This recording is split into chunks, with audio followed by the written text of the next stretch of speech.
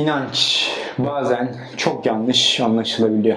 Bazen ona çok uçlarda inanmak bizi gerçeği görmekten alıkoyabiliyor. Hatta gözümüzü kör edebiliyor. Hatta sırf bunun yüzünden kitleler kontrol edilebiliyor. Bazen bu inançlar sorumluluk alman gereken yerlerde sana bahane ürettirebiliyor. Konfor alanından çıkmamana sebep olabiliyor. Peki asil inanç nedir? Yararlı mıdır? Zararlı mıdır? Peki bu inanç dediğimiz özgür olabileceğimize inandığımız prangalarımızdan kurtulmaya yarayacak bir şey midir? Biz aslında bir şeye inanıyorum derken bariz bir şekilde ben bir şey bilmiyorum diyorum. Yani ben bir şeye inanıyorum derken aslında ben bir şey bilmiyorum diye bariz bir şekilde bağırıyorum. Neden mi? Çünkü gerçekten bir şeyi biliyorsak bildiğimiz şeye inanmaya gerek yoktur. Yani gerçekten ona inanmaya gerek yoktur çünkü zaten biliyoruzdur. İşte bu inanmakla bilmek arasındaki farktır. İnanç belki de bir varsayım, bir spekülasyondur. İşte bilmek ile inanç arasındaki fark birinde yapılan şeyin kesinliği, ikinci, ikincisinde de kesin olmaması. Ama bu inanmayı kötü yapabilir mi? Kesinlikle yapmaz. Ne iyi yapar ne de kötü yapar. Asıl önemli olan nedir biliyor musunuz? Ne yaparsanız yapın onu niyetiniz önemlidir. Ne niyetle yaptınız. Eğer niyetin iyiyse o kalpten aşkla, sevgiyle geliyorsa niye kötü olsun ki? Ama eğer o inancı uç noktalarda kullanırsak, uç noktalarda yaşarsak o zaman belki dezavantajımıza işleyebilir. Peki biz bu bir şeye inanıyorum derken aslında ben bir fikre inanıyorum demek istiyorsundur. Bazen bu inançlar toplum tarafından kabul görmüş inançlar da olabiliyor. Yani kolektif bir bilinç toplu şekilde inanılan inançlarda bulunmaktadır. Bazen toplum tarafından kabul gören bu inançlar bazen hiç sorgulanmadan toplumda birçok kişi de kabul ettiğinden dolayı sorgulanmadan direkt kabul edilebilir. Çok rahatlıkla inanılabilir bir seviyeye gelebiliyor. Yani normalde sorgulamadan direkt yüzeyinden toplum birçok kişi kabul ediyor diye inanıyor diye inanma durumu olabiliyor. Yani onu evlat edinecesine inanıp sorgulamadan emin olmak yani Sizce bu gerçek midir, değil midir? Bazen çok fazla sorgulamaya zamanın yoktur. O zaman nasıl bileceğiz, nasıl emin olacağız? Bakın bu dünyada her canlının bir inancı vardır. İnanmıyorum diyen biri bile inanmamaya inanıyordur. Yani bir inanç vardır, inanç durumu normaldir. İnsanoğlunun yaptığı bir şeydir. Ama bu inançtan bahsettiğim gözü kör bir şekilde uç noktalarda inancını yaşayanlardan bahsetmiyorum. Yani zihin, bilinç, mantık çerçevesinde gayet aklı bir selim bir şekilde, bilinçli bir şekilde yapılan inançlardan bahsediyorum. Ama ne olursa olsun gerçek kanıtlanana dek onun gerçekliğinden emin olamayız. Her zaman bir şüphe bulundurmak gerekmektedir. Çünkü her şey çürütülebilir. Her şey bir gün bakmışsın tam tersidir.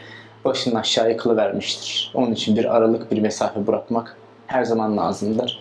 Çünkü eğer sen yüksek bilince geçmek istiyorsan, bilincini açmak, o sınırsız iradene daha da çok sınırsızlık katmak istiyorsan bırak inanç inançlarını kendinden şüphe etmelisin. Yani bir kapı her zaman aralamakta fayda vardır. Çünkü her şey çürütülebilir. Hayat değişkendir, evren değişkendir. Bu beden bile değişkendir. Beş yıl önceki sen bile sen değilsindir. Her şey değişir, dünya değişir. Yani yeni bilgiler sürekli gelebilir. Yeni tecrübeler edinilebilir. Onun için bilincini açık tutman gerekir. Bazen insanlar esnek olamıyor. Yeniye karşı bazen yeni bilgilere karşı direnebiliyorlar. O inancında kalmaya çalışıyorlar. Yani konfor alanında kalmayı tercih edebiliyorlar ve bazen inancın doğasını sorgulamayabiliyorlar. Bazen bu inançlar bırakın bir gerçeğe, bir kanıta bağlı olmasını çoğu zaman kulaktan dolma bir şekilde bazen yanlış bilgilerin kulaktan dola dola dola gelerek farklı bir şekilde ona ulaşıyor ve o da inanmaya başlıyor. Bazen bu inançlar zorlanarak veya baskıyla başkalarına da geçirilmeye çalışılabiliyor. Bazen karşı taraf o kişinin inancını, inancına karşı gerçekten aklı selim bir şekilde kanıtlar, güzel bir şekilde konuşmasına rağmen, kanıtlar sunmasına rağmen bazen insanlar kabullenmeyebiliyorlar. Ama o inançları kendiniz gibi benimsemenizde bir sebep vardır. Bazen insanlar topluma uyum sağlamak ister, onu seçer.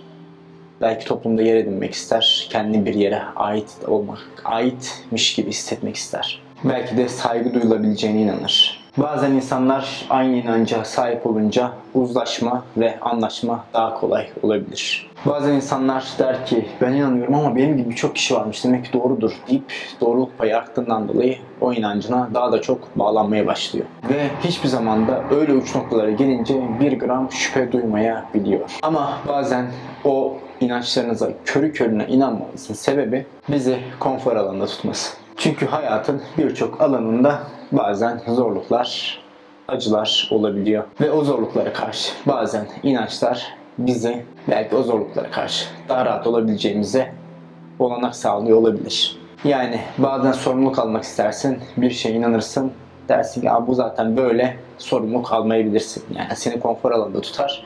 Belki o zorlukla karşılaşacakken sorumluluk almazsın, o zorlukla yüzleşmezsin. Yani senin için belki bunlar sorumluluktan uzaklaşma imkan tanıyabilir. Bazen o inanca cevaplar yeterli olmayabilir. Bazen hissedebilirsin, inanmamak yerine belki bir şeye inanmak daha iyidir diyebilirsin. Belki o seni güvende, sağlam hissettirebilir. Daha önce de dediğim gibi aslında bir şeye inanmakta problem yoktur. Yeter ki arkasında eminsizlik olmasın, bilinçsizlik durumu olmasın. Bir karşı taraf senin inancına inanmıyorum derse o aklı selim.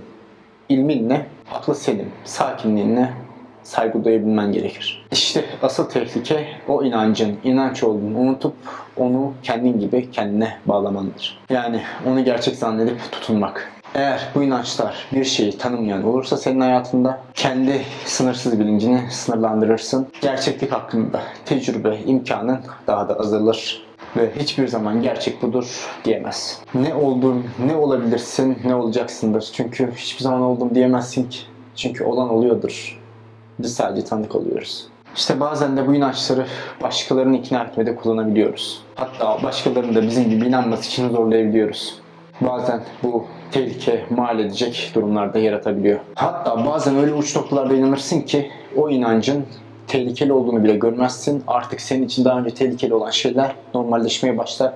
Hatta daha önce savunmadığın şeyleri savunmaya başlarsın. Yani kabul edilmeyecek şeyler bile normalleşmeye başlayabilir. Bazen körü körüne o kadar inanırız ki ne kanıtlar ne gerçekler sunmasına rağmen gözün görmez. Hatta Burak onu daha da çok korkar, daha da çok savunmaya geçer. Hatta bu kavgaya kadar bile gidebilir. Nadiren saygıyla birbirini dinleme olur, dinleme durumu olur ve iki tarafta birbirlerini kabullenir, tatmin olmaya çalışmaz. Çoğu zaman da inancımızı göstermekteki sebep de karşı tarafı kendi inancımıza ikna etmek veya karşı tarafı değiştirmek içindir. Onun için çok nadir insanlar karşıtları karşıt görüşler, inançlar, inançlı kişiler bir arada oturup nadir olarak konuşabiliyorlar. İşte barışmaların değil, asıl sözlerin konuştuğu, konuşulduğu bir yer olması lazım. Mevlana demiş, sesin değil sözlerin konuşsun, gülü büyüten gök gürültüsü değildir, yağmurdur. Aslında tatlı konuşmalar, tatlı çatışmalar o ufku genişletir. Sorgulamayanı bile sorgulamaya iter. İşte çoğu zaman başkalarını değiştirmeye sürekli meyilliyiz. Belki de niyetimiz iyidir, başkasına yardım etmek istiyoruzdur. Belki de onları kurtarmaya çalışıyoruzdur. Belki de arkasında asil güzel bir niyet de olabilir. Ama şunu diyeyim, belki kimsenin kurtarılmaya ihtiyacı yoktur. Değiştirilmeye de ihtiyacı yoktur. Ya da kimse sizden yardım istemiyordur. Belki herkesin anahtarı farklı bir kişidedir. Zamanı gelince olacaktır. İşte şüphe ve inanç birbirinin ikisi kardeştir. Bir paranın iki tarafı gibi düşünün. Birbirine hizmet eder. Bazen insan o inancını karşı tarafı ikna etmeye çalışırken karşı tarafı değiştirmeye çalışırken aslında yapmaya çalıştığı derinden o içindeki şüpheye karşı savaşmaktır. Çünkü içinde şüphe vardır. Çünkü zaten bir şey biliyorsan karşı tarafı ikna etmeye gerek yoktur. Değiştirmeye gerek yoktur. Yani aslında onu yapma durumu içindeki şüpheye karşı kendinin oluşturduğu savunma mekanizmasıdır. Yani tabuların yıkılmasını istemezsin. Çünkü seni o konforda tutar. Çünkü şüphen olmazsa inanca gerek kalmaz. Birini ikna etmene de hiç gerek kalmaz. Yani şüphe yoksa karşı tarafı da ikna etmeye çalışmaz. Belki de yaptığın karşı tarafı ikna etmek değildir. Belki de karşı tarafa yaptığını zannettiğin aslında gördüğünde kendisindir, kendi yansımandır. Belki onu ikna etmeye çalışırken kendi içindeki şüpheye karşı kendini ikna etmeye çalışıyorsundur. Ne dersin? Belki de o şüphe geldiğinde, o ikna durumu geldiğinde kendinden şüphe duymalısın. Belki de kendine inanmamalısın. İşte o şüpheyi derine gömmek bize konfor alanı verir. İkna olmayız, tartışırız çünkü korkarız belki de.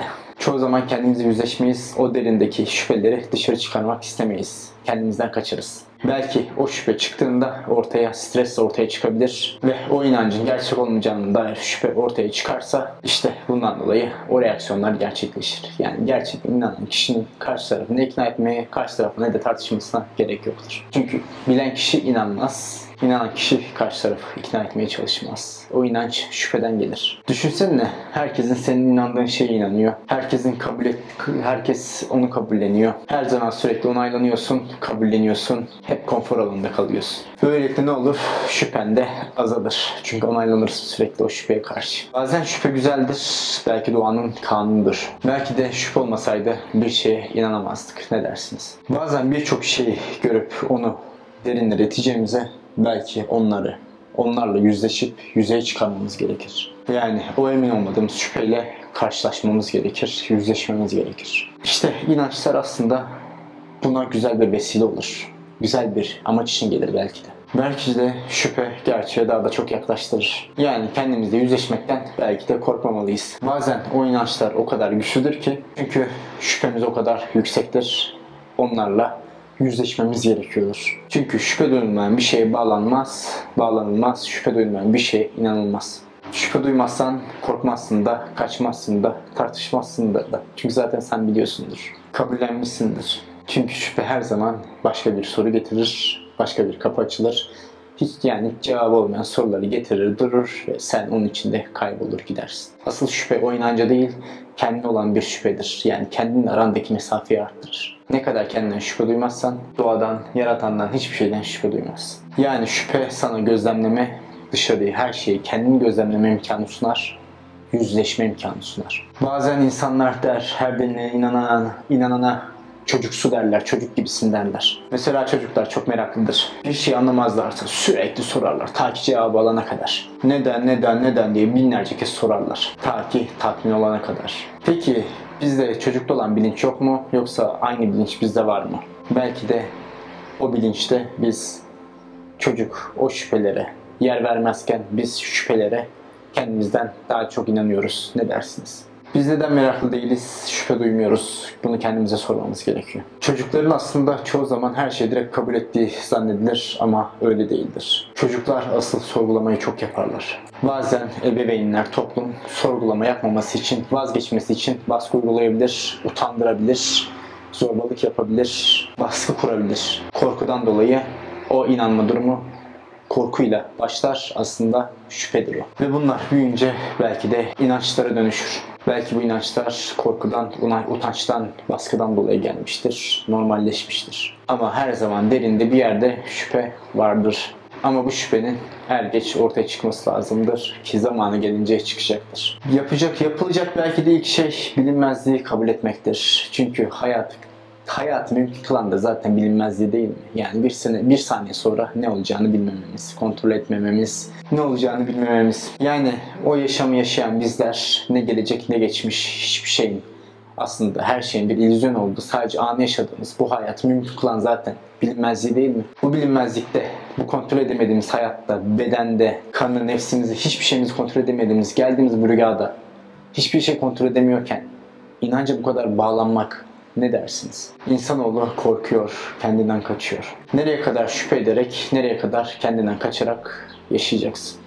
Kaçtığın bir noktada yok, varacağın bir noktada yok. Güvende zannettiğin, tutunduğun da illüzyon, her şey kafada. İşte o an asıl güvende olmadığını, tüm inançlarının yıkıldığını, hiçbir inancın olmadığını, o inançların şüphe olduğunu anlarsan asıl ne olduğun gözün önüne çıkacaktır. Ne olmadığını anlarsan zaten sorguya meal olmayacaktır, kalmayacaktır. Yani sen tutumunda bir şey yok, güvende hissettiğinde yok. O senin egondur, onu hissettiren senin nefsindir. Bazen bilmemek lazımdır. Bazen bilmeye ya da bilmemeye gerek yoktur. Bazen her şey bariz gözünün önündedir. Belki de o inandığın inançlar gözün önündeki perdedir. Gerçeği görmeni engelliyordur. Belki o zaman geldiğinde yanlışın da doğrunun da olmadığını göreceksin. Belki de bir şey olmaya çalışmayacaksın. Sen zaten olansındır. Olanı kabul ederiz, kabulleniriz ve farkında bir şekilde yaşarız. Bu kadar. Yani artık arayışta sonlanır.